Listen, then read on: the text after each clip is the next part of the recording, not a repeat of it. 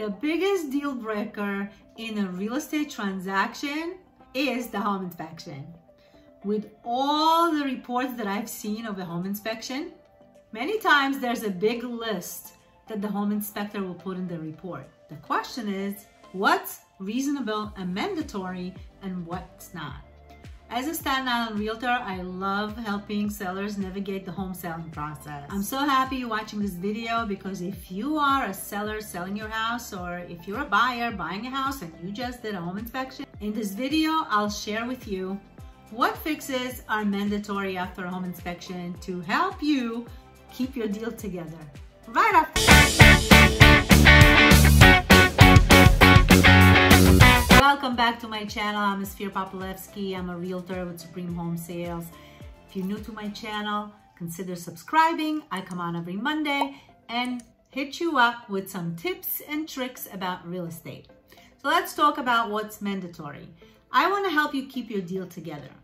Today is a hot market, so the sellers, you as a seller have the upper hand and you have probably 15 offers waiting and knocking on your door just waiting for your current deal to fall apart so they can get a chance to buy your house. But there's still some mandatory fixes after the home inspection that you as the seller will have to do. So let's tackle them one by one. The inspection report is usually split up into three different categories.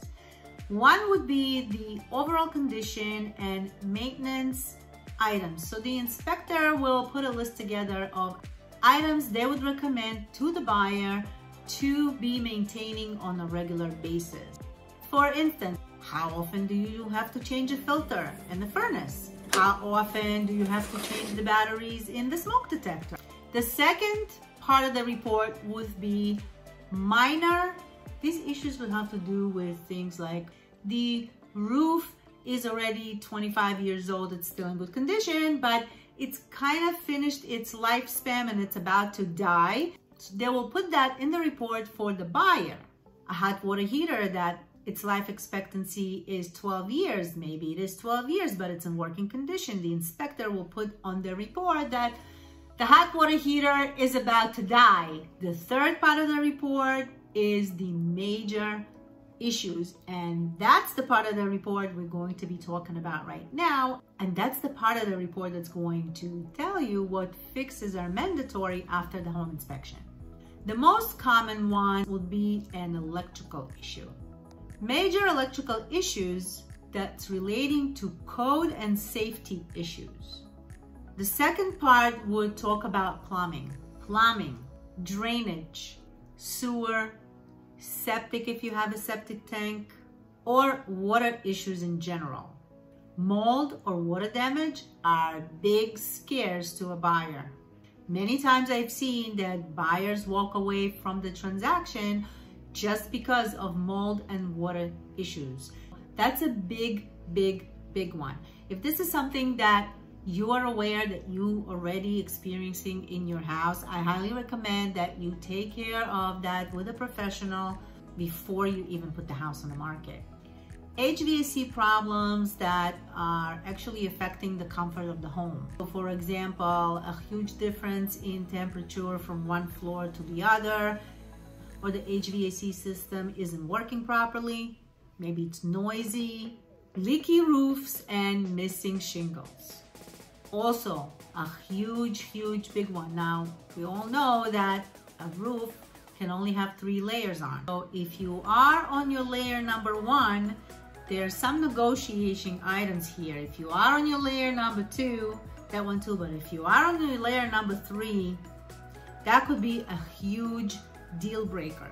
So maybe a good idea is get a roofer to check the top of your roof and see if you have missing shingles, or of course, if you have any leaks, make sure you take care of that ahead of time because those leaks will also cause mold and it's very unhealthy and you don't want to be a part of that. We live on Staten Island and Staten Island has termites. Yep, nine out of 10 houses will have some kind of termite evidence, either active termites, previously termites that were taken care of and treated, But in any case, 9 out of 10 homes on Staten Island will have some kind of evidence of active or past treated termites. Expect that to be something that's gonna come up on the report. If you know that you already had termite treatment at some point before, maybe it's a good idea to get a termite professional to come in and take a look.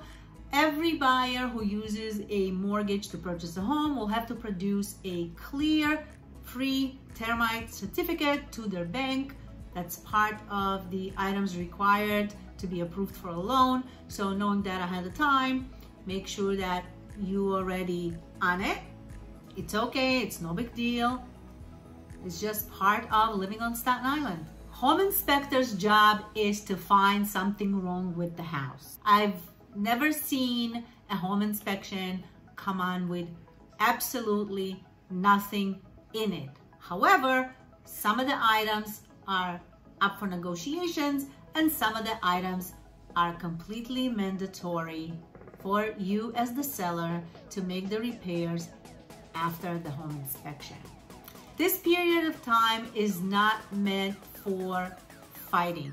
Don't take your boxing gloves and start fighting with the buyer and buy if buyers do the same. Don't approach the home inspection as a fight it's all about understanding what is mandatory for the seller to do and what is negotiable for the seller to do as long as the overall condition of the house is in good condition do not start nitpicking into different kind of items because you are expecting to purchase a used home, right? We're buying a used home. We're not buying a new construction. And I've seen even in new construction properties that some things are wrong with the property. When you're selling a house, it would be probably a good idea for you to get a home inspector to come in and do a home inspection for you ahead of time, if that's what you want to do, or just wait to get an offer on the table, have the buyer do the home inspection,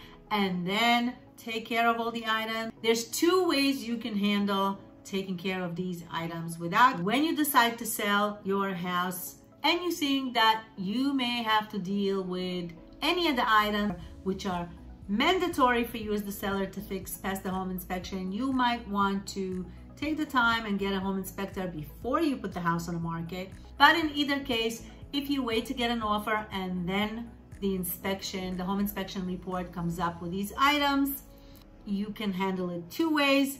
One way is to make repairs on your own before the closing, or which I recommend you do is just credit the buyer for these items. Do not get involved in fixing those items yourself.